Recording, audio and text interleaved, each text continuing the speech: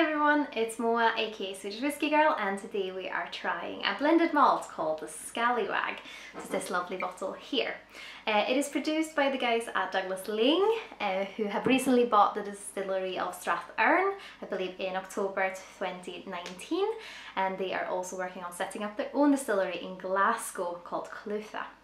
So it's of course a blended malt and that means that it's a lot of different single malts that have been blended together and this whiskey has also been matured on primarily on sherry butts but of course some bourbon casks in the mix as well.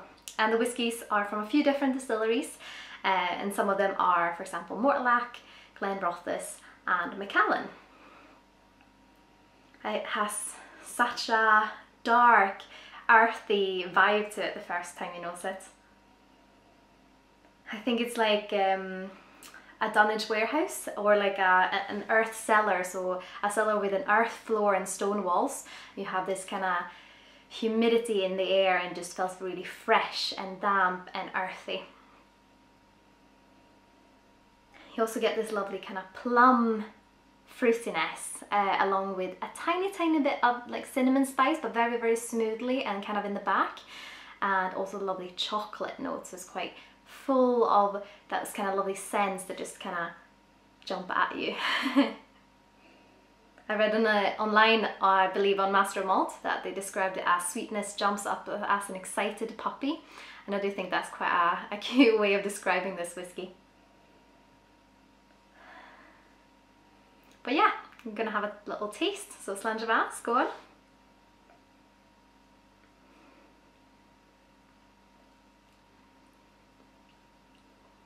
You definitely get a little bit more spice on the palate. So that cinnamon notes, but it's very, very soft and very mellow.